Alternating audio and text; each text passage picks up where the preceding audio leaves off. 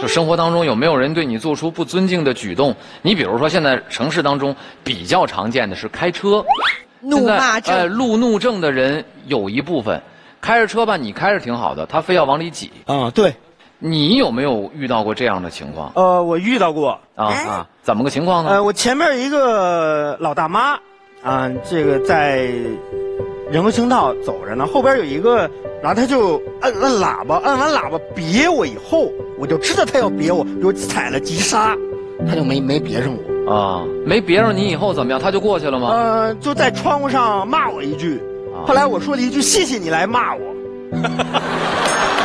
我觉得他的心态太好了。太厉害了。虽然说我是练体育练武术的，但是我开车，呃，十四年没有扣过一分，也没有一次违章。这个很牛啊，特别不容易。这也太难了，这不容易个啊！又优秀优秀。你生活当中是一个什么样的人？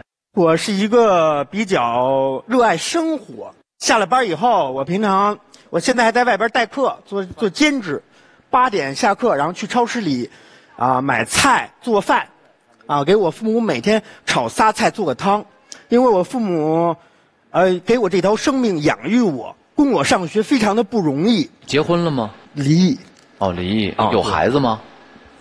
有有孩子啊？跟谁呀？我跟你？对男孩儿女孩？女孩儿哎呦，多好啊哈！练武先练德，啊，孝顺父母，尊老爱幼，尊重师长。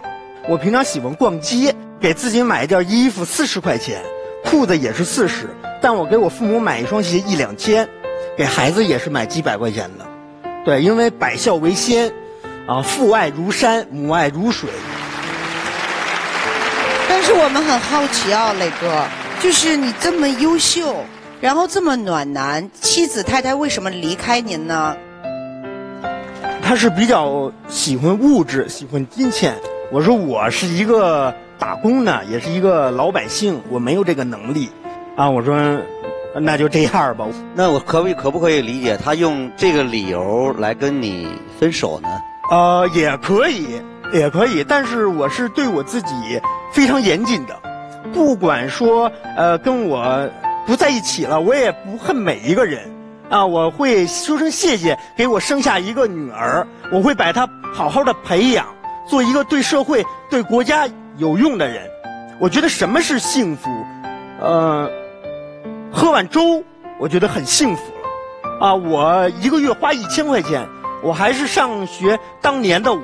我上学的时候也比较节俭啊，和我师兄，我师兄也是北京的，啊，我们点买菜的时候买半个宫保鸡丁儿，啊，再来再加二两米饭，再来点菜摊儿，这就是我们师兄弟当中最幸福的事情。如如今我还记在，呃，我的我的心里面，就像昨天发生的事情一样，和我这些师兄弟大家现在联系还多吗？啊、联系特别的多啊啊，包括他的车啊，包括他的呃课都让我去来上啊，哦，包括去他老丈人家、奶家都让我去啊。关系处的特别好啊嗯，。是是是，这就是过去练武当中的师兄弟